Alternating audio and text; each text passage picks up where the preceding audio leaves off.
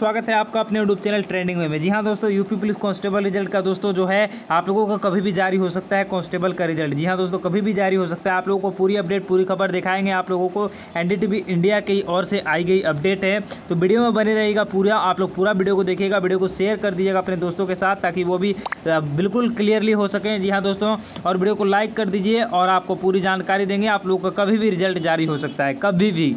तो चलिए दोस्तों, पूरी अपडेट देख लेते हैं। तो दोस्तों देखिएगा यूपी पुलिस कांस्टेबल भर्ती परीक्षा का रिज़ल्ट जो है वो जल्द जारी किया, कर दिया जाएगा। यूपी पीबी के अधिकारी ने एनडीटीवी को बताया कि कांस्टेबल का रिज़ल्ट जल्द जारी किया जाएगा।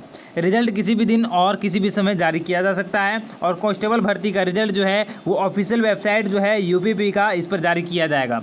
और उम्मीदवारों को ये वेबसाइट चेक करते रहें और उम्मीदवारों को रिज़ल्ट चेक करने के लिए यूज़र आईडी और पासवर्ड डालकर लॉगिन करना होगा और उत्तर प्रदेश पुलिस पदोन्नति बोर्ड द्वारा कांस्टेबल के पदों को उनचास पदों पर सत्ताईस और अट्ठाईस जनवरी को आयोजित की गई थी और ये परीक्षा उत्तर प्रदेश के विभिन्न शहरों में केंद्रों में हुई थी। अब बता दें कि पहले स्टेज की परीक्षा में पास होने वाले उम्मीदवारों को दूसरे स्टेज की शारीरिक मानक परीक्षा के लिए बुलाया जाएगा।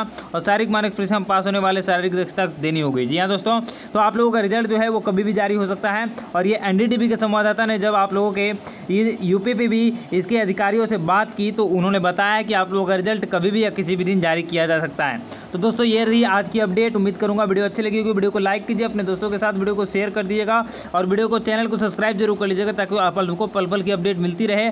मिलते हैं दूसरी वीडियो में, तब तक के लिए बाय